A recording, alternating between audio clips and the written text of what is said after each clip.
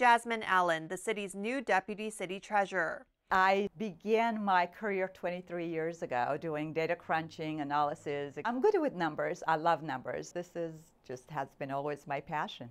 Torrance City Treasurer Tim Goodrich announced Allen's appointment, saying she's filling a position that's been vacant for years. Just a few weeks into her job, she has a lot to unpack. There were some cobwebs that we had to clean, but we're going to make this office space a great place. Despite the mess, Allen, who has 23 years of experience under her belt, says she's still able to get a lot of work done. We're already created some reports and I've already been in some meetings with city manager Chaparian and the city attorney.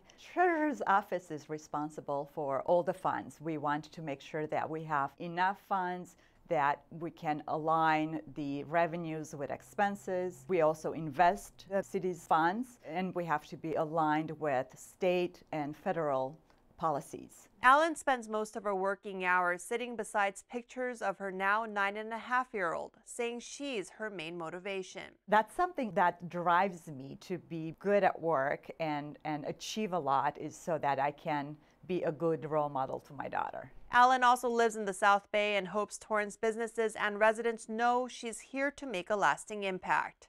Your funds are in, in good hands. The future is bright in the city of Torrance. Both uh, Treasurer Goodrich and I are here to be serving the community and Treasury Department is back. I'm Christine Lee with Torrance City Cable.